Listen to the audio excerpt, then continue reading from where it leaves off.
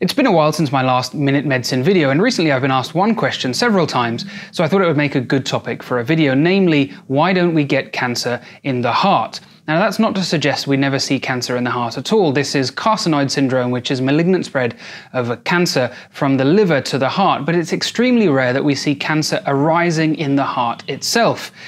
This is uh, an atrial myxoma, which is not uncommon. It's a benign growth within the heart, but it's not cancerous in the normal sense that most people would understand it. It sometimes needs surgery for mechanical reasons, but it doesn't otherwise cause too many problems. And the characteristic of heart cells which makes them so resistant to cancer is the exact same thing that keeps someone like me, a heart doctor, in a job. Heart muscle cells can't regenerate.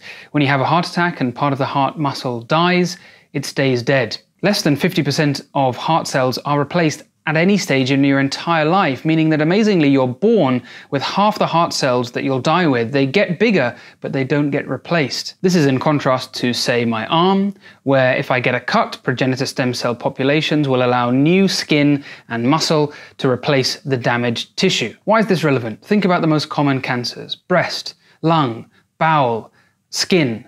These are all organs which have a very rapid cell turnover. Their cells are dividing a lot. Cancer is caused by a mutation being passed on to daughter cells. 37 trillion cells in your body, 3 billion base pairs in your genome, and even though the mutation rate is incredibly low with multiple fail-safes, the sheer numbers mean that errors do occur quite commonly. The more cell division that takes place, the greater the likelihood of a mutation being passed on. Heart cells which don't divide simply don't have that opportunity to propagate harmful mutations. Secondly, consider exposure to things that are likely to cause DNA damage. UV light, processed food, cigarette smoke. The heart, whilst being a hard worker, also leads quite a sheltered life, protected from any of these nasty carcinogens. There is one time in your life where cell division does occur rapidly in the heart, although you probably won't remember it. It's when you're in the womb, and sure enough, the fetal period is when we see malignant cancers of the heart, although even then they're extremely rare. The fact that your heart cells don't regenerate may protect you from heart cancer, but it also means that any damage that occurs to your heart is likely to be permanent.